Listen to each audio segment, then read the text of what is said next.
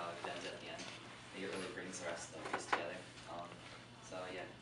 yeah.